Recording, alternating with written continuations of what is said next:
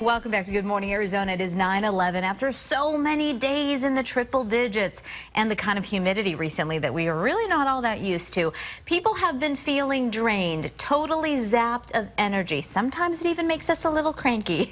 At least I'll speak for myself. So how do we keep from feeling like a zombie? Dr. Ed Lamadrid is back. He is an Eastern medicine expert who joins us with some unique ideas to try and all of this natural, yep. easily found in the grocery store or maybe already in your own in cabinets. Your mm -hmm. Yes. So you want to start with eating to stay cool. So we want to talk about eating. So now these are foods that have good source of dietary water. Okay. So because when you drink a, a glass of water, basically the body takes whatever it needs, you get rid of the rest. Mm -hmm. But when you eat foods that have a high water content, they kind of chug along and the body takes a little bit of water here, a little bit of water there, so it's almost like time release water. Oh, okay. Getting. So, and the two biggest sources are going to be cucumbers, mm -hmm. which is why the phrase is being cool as a cucumber, not cool as a cabbage, uh, and watermelon, actually. And now you're seeing a lot of like watermelon juice, mm -hmm. especially, but cucumber is actually great to cool the body from the inside and also topically for sunburn, oh, which nice. we talked about last year. Okay, great. Uh, a good snack for the kids would be chunks of watermelon and pineapple on sticks and freeze it.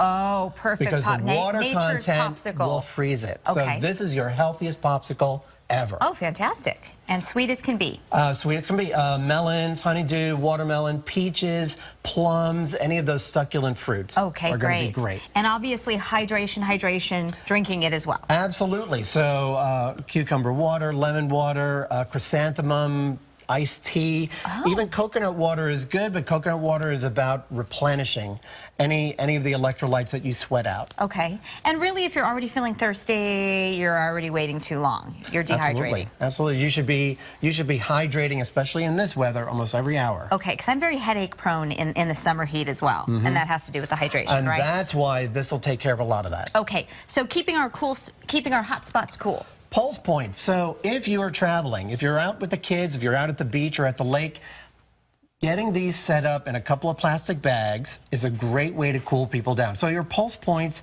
are areas of the body where you've got arteries that are close to the skin. Okay. Right? So when you apply a cold Boom. compress, you'll ah. actually cool the blood very quickly. Okay. So here in the wrist, in the elbow, in the armpit, around the neck are great points to cool, and this will cool kids down very quickly. My mom used to always do this to me when I was a little kid, and I always oh, yeah. thought it was kind of silly, but it does. It's very soothing, and it, it really works. does work. It works. Okay. Now, this is something you can kind of prep at home, and it'll help you sleep well. So let's say the AC goes out, and you're miserable, oh, and no. you can't get to bed. Mm -hmm. So fill a sock with rice. Okay. Throw it in the freezer.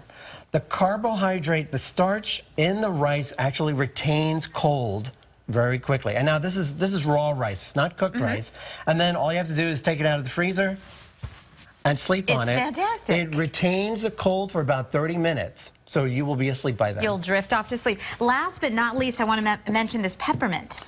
Peppermint oil, essential oil, is great. You can get it in lotions like okay. this, and it'll give you a cooling sensation. Or you could take this rice sock and actually spray some. Oh, smells so great. And it smells great. You've got rollers for your feet that you put in the freezer, but actually getting some essential oil, putting it on your temples, okay. will actually give you that cooling sensation So it well. tricks your body into thinking you're cooler. The body will think that you've got that cool sensation going on. Very soothing. Thank you so much. Great to see you. We can likewise, find you at your website. At lamadrid.com. That makes it easy. Thank you so much. These tips on Easy Family. All right.